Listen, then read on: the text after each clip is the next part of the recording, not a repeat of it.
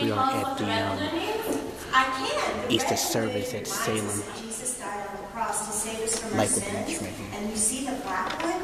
We're at Salem. reminds us that the sky Easter service. very black when Jesus died.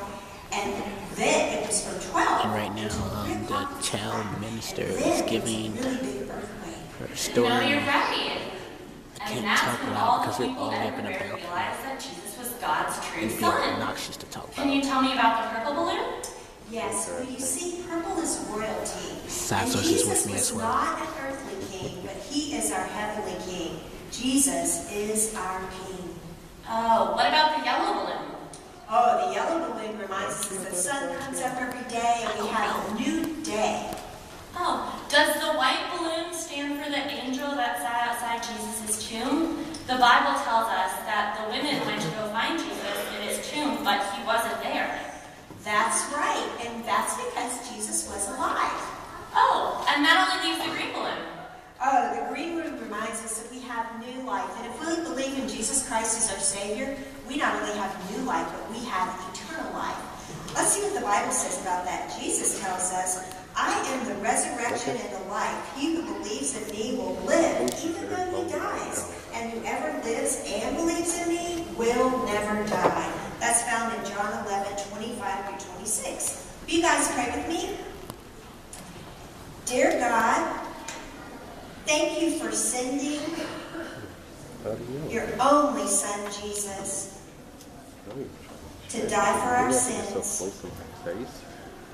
We are so happy to celebrate today that Jesus is alive. In Jesus' name we pray. Amen. And now, if you go to either side, the acolytes have a special treat for you to take pointed her out with you.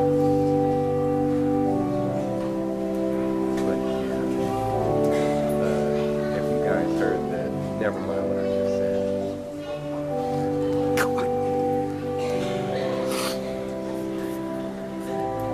What? I didn't say anything. You should play it with Let me ask you a question. If I were to say the names Katniss, or Peeta, or Gale, how many of you know what I'm talking about? Oh, we saw some teenagers' hands do this. For the rest of you who've been living under a rock for the past, uh, I don't know, seven weeks or so, I'm talking about a movie that's out right now. It's really popular. It's also a book series. There's three books in the series. It's called The Hunger Games. Ever heard of that? Yes, oh, see that right there? You see that reaction? Parents, you need to be reading this. Grandparents, you need to be reading this. Why? Because your kids are reading it, and they're ingesting it, and they're, they're, they're learning it. And so what we've decided to do as a church is to address this. Uh, Karl Barth, who was a theologian, was famous for saying that you are to preach and, and teach with the Bible in one hand and a newspaper in the other. Well, The Hunger Games isn't a newspaper, but for a lot of Alright our guys, I think done like enough, one. so um, Doesn't it? I'm gonna go ahead and enjoy So the we're rest of going the to try to address service. that. We're going to look at some of the ideologies of